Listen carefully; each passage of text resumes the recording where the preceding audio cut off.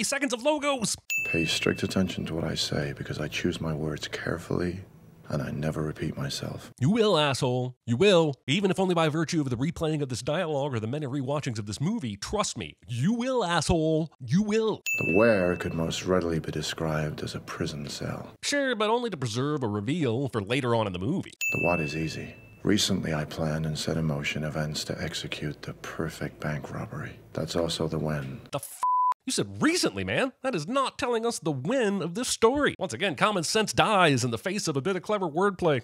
Which leaves us only with the how.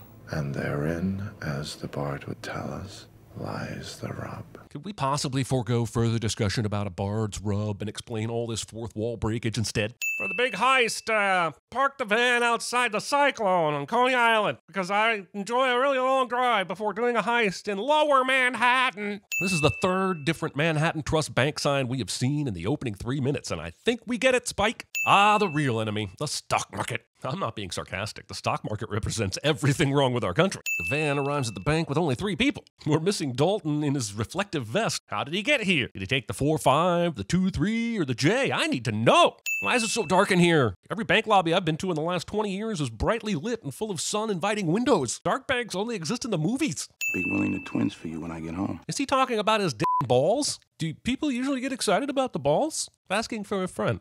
Any desk setup where you have to be face to face with another person is only fun for buddy cop banter. Other than that, it's weird and uncomfortable when you are quietly trying to get your paperwork done. What about the uh, the Madrugada thing, the check cashing thing? I thought I was in the doghouse. If Denzel's playing a cop or a military man in a movie, there's an 80% chance his character is battling some allegations about shady law enforcement behavior. Just picture them in their underwear. I saw that episode of Brady Bunch too. One thing this movie taught me is that there is no rhyme or reason to how the NYPD park their cars when responding to an emergency. Beaver Street in Hanover. This shit is around the corner from the Continental. These cops should be much more worried that John Wick is working again.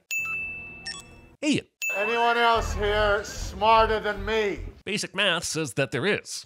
Keep it. The Wi Fi capabilities of this product placement never factor into the story. Go ahead.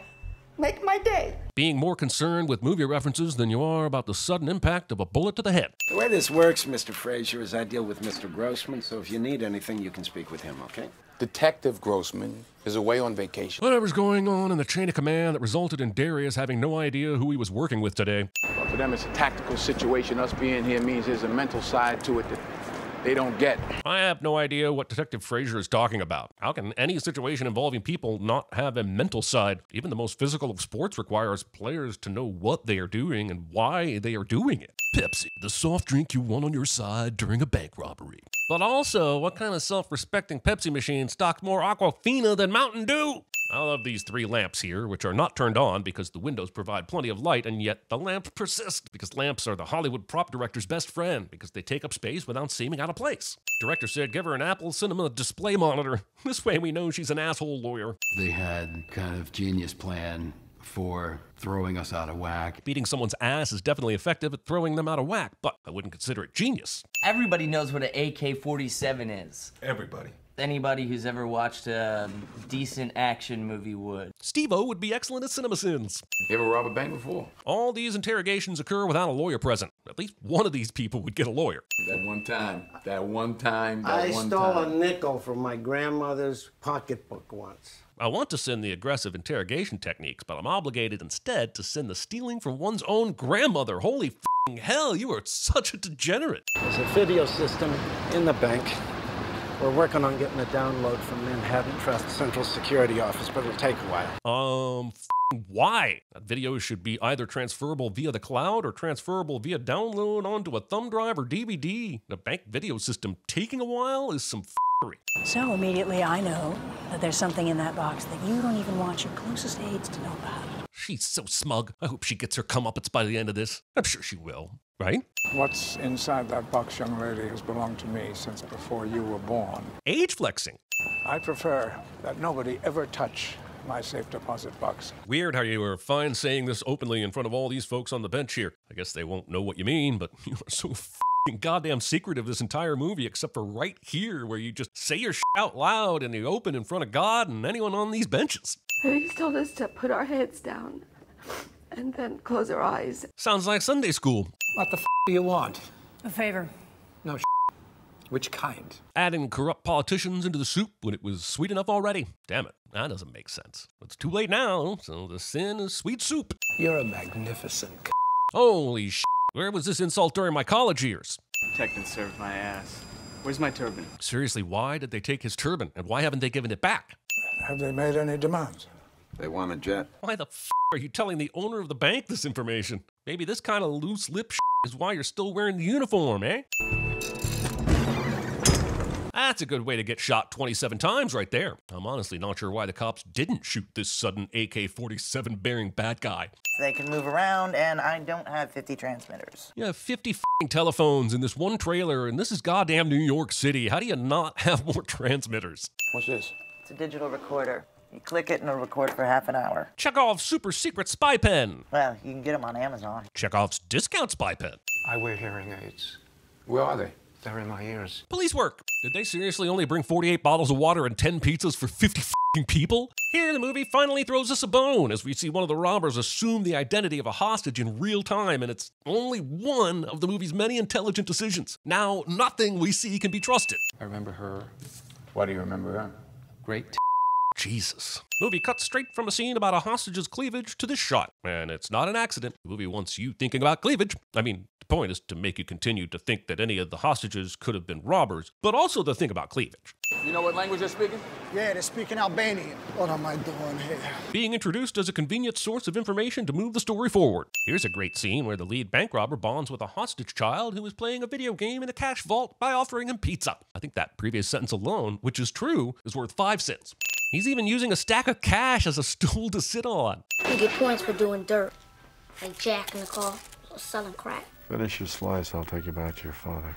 I gotta talk to him about this game. We don't see that conversation or the reaction of his father to receiving parenting advice from a bank robber. There's a tape of him discussing how Albanian people are great people. This is a genius move by the bank robbers, and it buys them tons of time. I'm shocked these detectives fell for it. So the sin is for the stupid detectives falling for it. Last time I had my Johnson pull that good, it cost me five bucks. Five bucks. Unless Darius thinks Keith bartered five adult male deer for the service, why are we stopping to field questions about this in the middle of a hostage situation? This movie will put you off safe deposit boxes and quick. There are matters at stake here that are a little bit above your pay grade. you might as well have told him we are up to some shady shit because I'm not sure there is anything about an active hostage situation at a bank that is above the pay grade of the lead detective. More like taking a shower with two guys named Jamal and Jesus, if you know what I mean. It's funny because it's about the cross section of race and gay prison sex in the shower. Yeah, I don't need your status report, Serpico. I don't need your movie reference, Danny Ocean. Why would a stop sign ever be this high up in the air and this close to a building? What the Well, it's simple. You give me more time, you get what you want. You got nothing to lose. Other than all the special forces and tanks and SWAT guys that will arrive over the extra time, this bank robber I'm definitely not rooting for should hang the f up. I got a question for you. You get it right, I'll give you more time. If a hostage taker ever offers to play a game with you, assume you've already lost. U.S. money isn't printed on paper at all. It's cotton. And linen, 25% to be exact. And what's linen, you ask? No one knows. We may never know. Tell them they both weigh the same. Tell them they both weigh the same. Do it now. And then he does it, because apparently that guy's advice needs no proving or testing. And if that's the case, why isn't he in charge of this unit? It could be Al Qaeda. this is probably an accurate reflection of common American ignorance, but I'm still sending this guy thinking Al Qaeda might come to America and organize the heist of a single high profile bank in Manhattan. Oh, that's a good looking shithole. The first words I said upon viewing my second apartment somehow make it into the script. Jody H. Christ. You're not going to tell me how you're planning to get out of here, are you? I'm gonna walk right out the front door. There is zero reason for this conversation to be happening. He's already revealed he knows about the Nazi shit. She's already revealed she's here to try and cover up the Nazi shit. The only reason they're still talking is for him to have this I'm gonna walk right out the front door comment. Otherwise, it's just five minutes of unimportant filler shit. This check cashing thing, this this coke bust, I can face that on my own. I really don't feel like this check cashing coke bust thing adds anything to this movie or this character. He can just be stressed because it's a hard day and a hard job. I say Rikers Island in Spanish? La Isla de Rikers. Can we move on now? Your height, your age, and your um your cup size. So I violated section 34 double D. Stevie took my line, so now I have to come up with something else. Let's see. Hmm. Got it. Keith and Bill decide to go with the G cup, B cup tactic in this interrogation. It's not as effective as Brazier's dilemma, but it provides the same support. You gotta be crazy to go in there. Yeah, but more importantly, it has to be against police rules and regulations. You wanna bullshit me, try harder. There's no reason for this bank robber guy to spend all this time talking to a detective he knows is trying to get a read on him. It's much more fun for the audience watching the movie, of course, because it's great back and forth, but it puts the mission unnecessarily at risk. He's doing the make you think I shot a person thing from The Negotiator. Spike Lee's iconic double dolly shot being cool and iconic.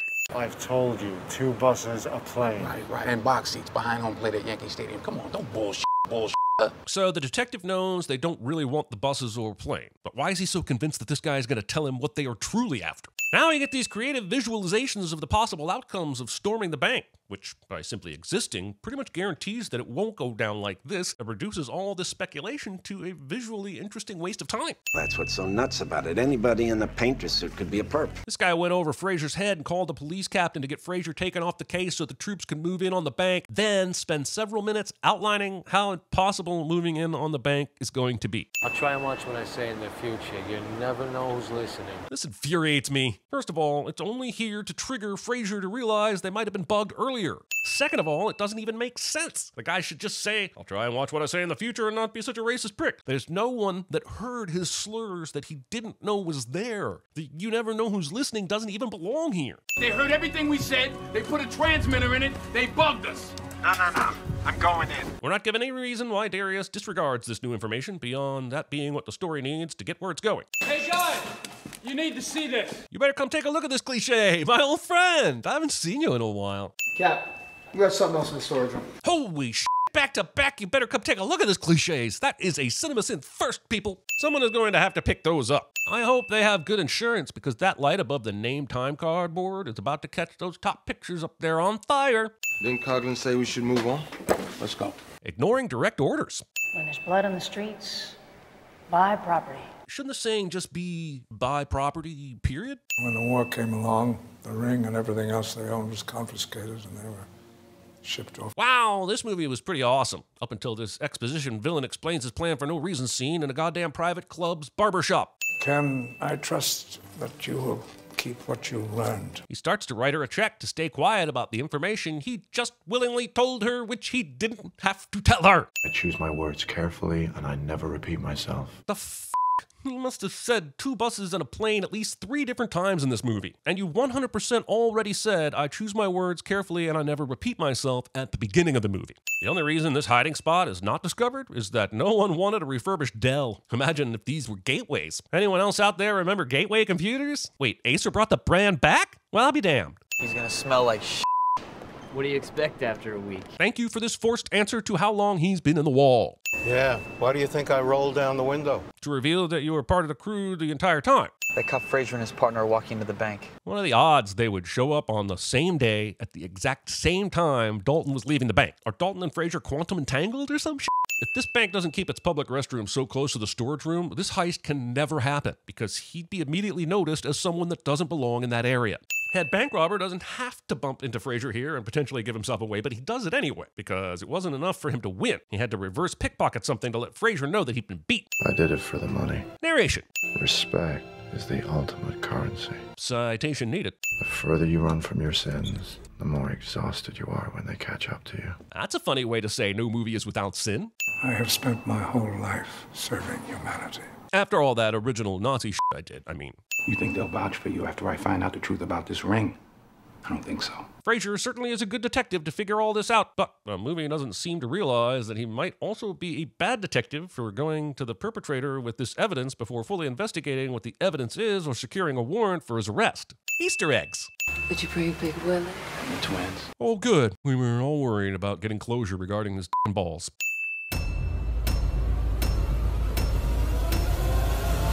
Well, we have ways of making it talk. First, we ride the cycle. Like that, old man! Put your hands down! How many keys? You sucker? What the f? Go ahead. Make my day. It's always about you, isn't it? What's that? Pedal to the metal. I don't know who you are. I don't know what you want. So how old are you, Brian? Eight and three quarters. Eight and three quarters. Big boy. What's our fuel gauge reading? Please excuse the crudity of this model. I didn't have time to build it to scale or to paint it. Great, we'll put out a citywide description for David Copperfield and Well, he wasn't like today's magicians who are only interested in television ratings. He was an artist. Sorry, sir, but that's not the point. Please, arrive at the point. I'm not quite sure I like your tone. What the hell's my tone got to do with it?